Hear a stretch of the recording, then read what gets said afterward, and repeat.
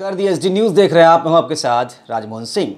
Supreme court का ऐतिहासिक फैसला आ चुका है। अयोध्या मामले पर हिंदुओं के पक्ष में फैसला आया है और इस सुप्रीम कोर्ट के इस वर्डिक को हालाँकि तमाम पार्टियाँ इसका स्वागत कर रही है। कांग्रेस की तरफ़ से भी बयान आया है। तमाम विपक्षी पार्टियों ने भी इस फैसले का सम्मान करने की बात कही है। हमारे साथ आरएलएसपी के मुख्य प्रदेश प्रवक्ता हैं अभिषेक जी। उनसे जानने की कोशिश करेंगे कि आरएलएसपी इस फैसले को किस तरीके से देखती है। देखिए ये बात सिर्फ़ आर की नहीं है। माननीय सुप्रीम कोर्ट ने जो ऐतिहासिक फैसला दिया है शायद भारतवर्ष के मोस्ट अवेटेड केस का जो फैसला आया है उसका स्वागत हमें ही नहीं पूरे देश के हर एक नागरिक को करना चाहिए। आप देख सकते हैं कि सुप्रीम कोर्ट ने इस बात का ख्याल रखा है कि दोनों पक्षों के हितों की रक्षा हो।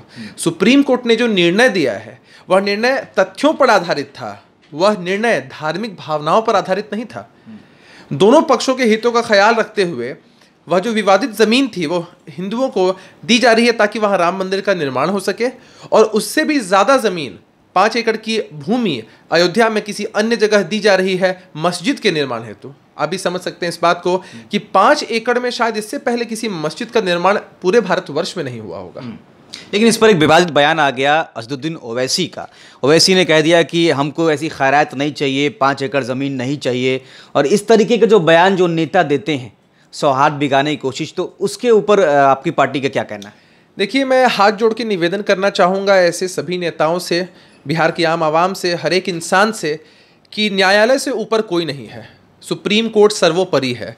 उन्होंने इतना लंबा समय लिया हर एक तथ्य को इवेलुएट किया एनालाइज किया इतनी बार सुनवाइयाँ हुई तब जाकर हम किसी रिज़ल्ट तक पहुँचे हैं। तो अब हमारे देश में अन्य भी बहुत मुद्दे हैं। अब इन मुद्दों पर राजनीति नहीं होनी चाहिए।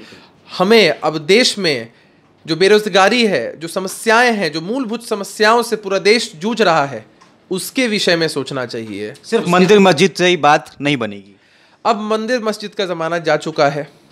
अब आज के युवाओं को रोज़गार चाहिए लोगों को स्वास्थ्य के लिए व्यवस्था चाहिए सुरक्षा की व्यवस्था चाहिए अब इन मुद्दों को लेकर हमें संघर्ष करने की ज़रूरत है।